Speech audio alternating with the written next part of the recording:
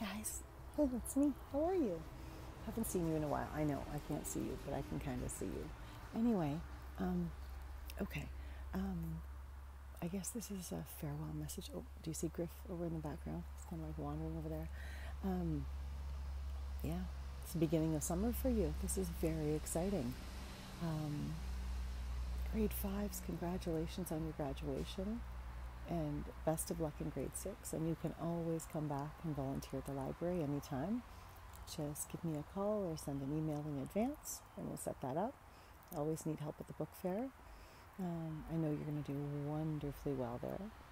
If um, you were here and I was going to write something, sometimes you guys want me to sign something, I would say to you be kind, be curious, but above all, be you. Never forget to be you because there is no one else like you. Griff, come here. Sorry, Griff just went. There's nobody else like you. And I have thoroughly enjoyed teaching all of you.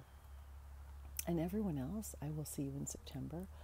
Who knows how I'll see you? It's going to be really exciting. It's like this is all brand new. So perhaps I'll see you from my backyard. I hope to see you at school. I do miss seeing all of your faces so much. I really miss seeing all of your faces so much.